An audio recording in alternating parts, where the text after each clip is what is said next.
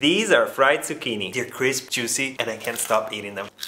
Mmm. Trim the zucchini, then slice them into discs. Then prepare three containers. One with milk or non-dairy milk, one with flour, one with breadcrumbs, oregano, garlic powder, salt, and black pepper. And optionally you can add some grated parmesan. Wet some of the zucchini with the milk, put them in the flour, close the lid, and shake until they're perfectly coated. Then put them back into the milk, toss them around, and transfer them onto the breadcrumbs mixture. Close the lid, and shake until perfectly coated. Transfer them onto a baking tray, and repeat until you run out of zucchini. There are three ways to cook the zucchini. You can fry them in oil. Make sure the oil is around 170 degrees Celsius or 340 degrees Fahrenheit. Plunge the zucchini in, fry them a couple of minutes per side, put them on kitchen paper to absorb excess oil. Option 2, bake them in the oven with a drizzle of olive oil for about 20 minutes. They're not gonna be as crispy, but they're still bad. delicious. Third option, you can cook them in an air fryer, flat on a single layer with a drizzle of olive oil for about 10 minutes. Now season the zucchini with a generous pinch of salt, then arrange them on a serving platter with some marinara sauce, lemon wedges, thyme leaves. Easy, right?